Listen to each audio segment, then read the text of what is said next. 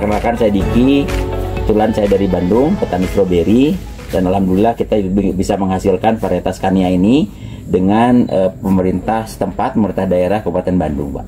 Nah, ini varietas Kania asalnya introduksi dari Amerika, namanya festival itu tahun 2000-an. Kemudian kita melepas varietas Kania ini tahun 2018.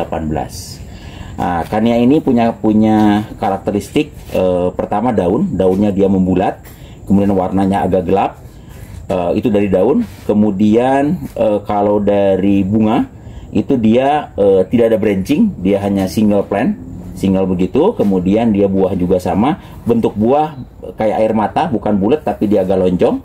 Kemudian punya uh, kelebihan buah ini lebih crunchy, jadi crunchy itu lebih kering sehingga uh, bisa uh, bertahan dalam hal pengiriman di perjalanan. Jadi kalau perjalanan kita biasanya kalau buahnya agak bulat itu hanya satu dua hari, tapi kalau dengan uh, kania ini dia lebih mungkin sekitar ada satu mingguan, itu lebih crunchy. Kemudian dia sebetulnya lebih toleran terhadap hama penyakit, kemudian dia juga tahan terhadap kalau kita di open field juga lebih tahan. Kayak gitu.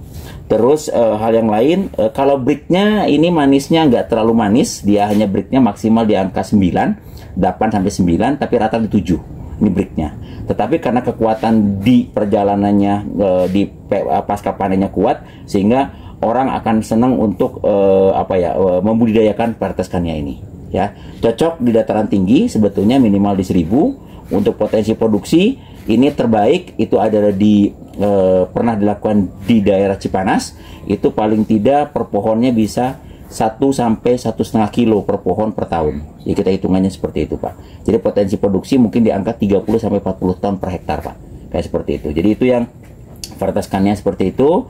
E, kemudian dia juga ini bibitnya, bibitnya juga sama, dia karakteristiknya agak panjang seperti ini dan ininya bulat, e, daunnya bulat. Terus hal lagi yang yang membedakannya lagi, dia lebih senang membranching. Membranching itu kayak semacam apa ya akarnya dia membranching seperti ini Nah, ada beberapa branching, tetapi branching ini bisa kita pecah menjadi individu-individu baru, ya. Jadi karakter seperti itu beda dengan yang lokal. Lokal itu dia lebih hanya satu aja begitu kalau dia ngebranching. Nah, ini juga dalam hal pemeliharaan cukup baik, karena potensi buah akan semakin banyak. Karena buah itu berdasar, keluar dari uh, satu uh, tunas baru seperti itu.